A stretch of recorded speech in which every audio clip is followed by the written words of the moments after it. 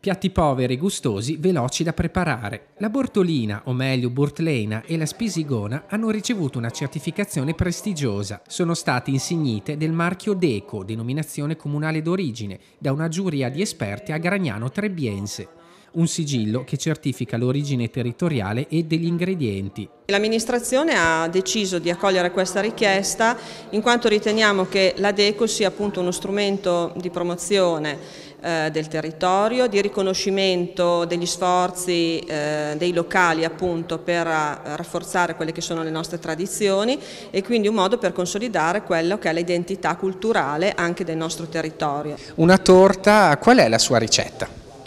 La ricetta è a base di burro, farina, uova e mm, zucchero. Come, come si fa? Si pizzica, si impasta, poi si mette nella teglia e si pizzica.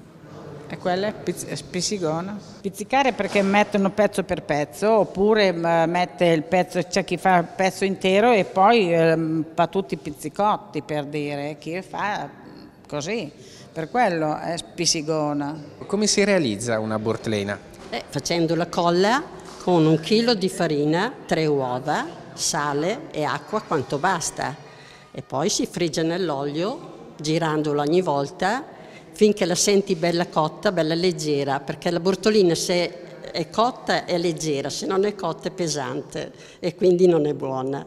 Con che cosa si può abbinare? Con i salumi, c'è chi la mangia con i salumi, chi la mangia semplice, chi la mangia anche con lo zucchero. La frittata povera e il dolce croccante tipici del nostro territorio saranno protagonisti di due sagre a Casaligio il 5, 6, 7 settembre e a Gragnano dall'11 al 14 dello stesso mese.